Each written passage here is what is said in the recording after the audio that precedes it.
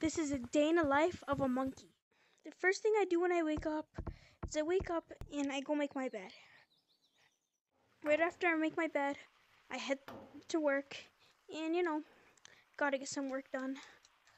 And on my way home, I go to grab some food because I'm always really hungry. Um, I'm gonna buy that. Get some this. Perfect. And right after that, I start walking home.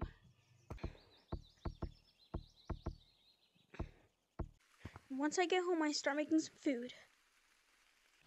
That's the recipe I use to make my turkey.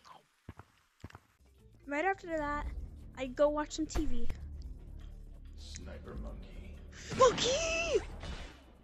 Right after that, I go to a seven year old and rob him. Give me all your money right now!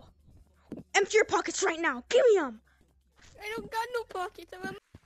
Thanks for watching, everybody. That's my daily routine in Gorilla Tag. So have a great day.